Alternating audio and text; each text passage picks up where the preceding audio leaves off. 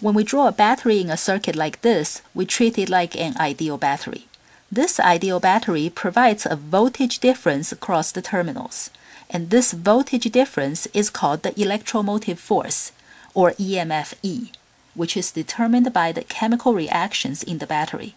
A 1.5 volt battery has an EMF of 1.5 volts, and a 12 volt battery has an EMF of 12 volts.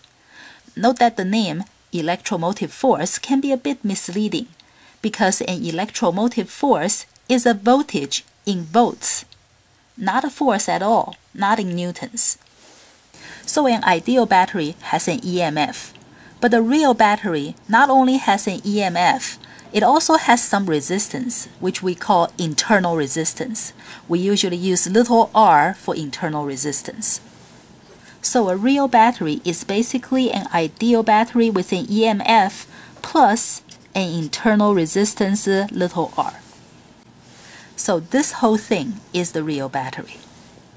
This point is the positive terminal of the real battery, and that point is the negative terminal. The voltage difference between these two points is called the terminal voltage. If the battery provides a current I, there would be a voltage drop across the internal resistance V equals to IR. So the terminal voltage would be less than EMF. It is EMF minus the voltage drop across the internal resistance, and the, this voltage equals to the current times the little r.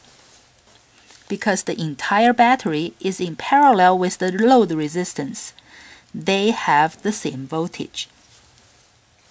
So the terminal voltage is also the voltage across the load, which equals to the current times the load resistance. This part tells us that although the battery is supposed to be able to provide a voltage that equals to its EMF, the real terminal voltage is less than EMF, unless if the current is zero. And the more current the battery provides, the lower the terminal voltage. Now let's look at this example.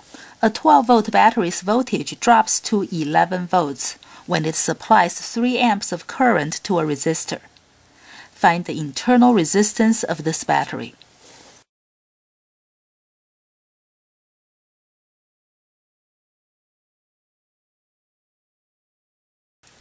So the terminal voltage of this battery is 11 volts, which is less than its EMF 12 volts because of the voltage drop across the internal resistance. And this voltage across the internal resistance is the current times the resistance I times R. So we can solve for R, and it is one third of an ohm.